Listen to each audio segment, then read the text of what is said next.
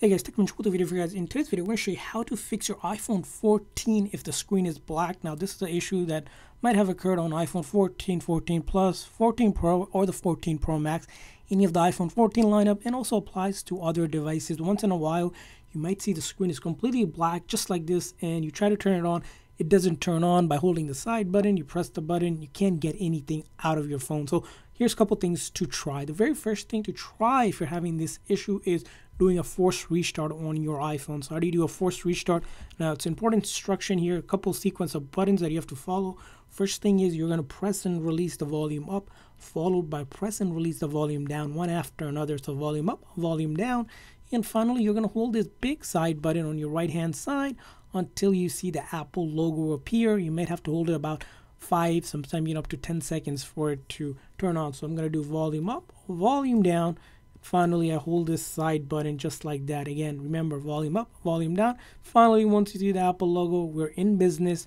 You can let go of that button and wait for the phone to turn on normally. Now, this method will not delete any of your personal data. All it is doing is restarting the phone in a way that reloads the code. So if it's a code or software related bug infecting your iPhone 14, it will fix it for you and you should be in business again. Now, let's say you did this and it still didn't work. Another thing you want to do is charge your phone for at least half an hour to one hour with the right charging cable. Sometimes we find that a phone is dead and it just maybe turned off or died without us knowing some reason and we need to charge it with the correct charging. You want to ensure that you're using one of those 20 watt Apple adapters, especially for the new iPhone 14 that works the best with a genuine Apple Lightning cable just like that. And again give yourself about half an hour to 45 minutes to ensure that the phone if the battery needs a charging let it charge. Don't panic if it doesn't turn on right away. And once you charge it it should automatically turn on. If not after charging for half an hour to even an hour do the same exact thing with the force restart that we showed you with the volume up volume down and then holding the side button. And hopefully once you do that you should be back in business. Now, the last thing you can do if you're still having issues, you can also try to charge it using a MagSafe charger if you're using one of those MagSafe wireless charger because who knows, maybe your charger cable or this cable sometimes they become uh, defective and they don't work correctly. So go ahead and try a MagSafe charger for wireless charging. And again, wait till half an hour to 45 minutes if you do have that.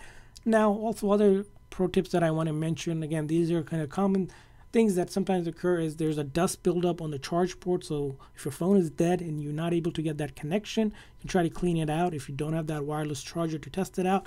And you can usually something simple to clear it out. If there's a dust buildup on the connector here, it will not turn on your phone.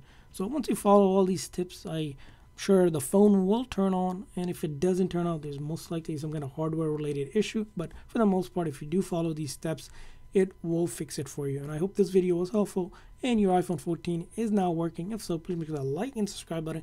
Thanks for watching, guys. See you guys next time.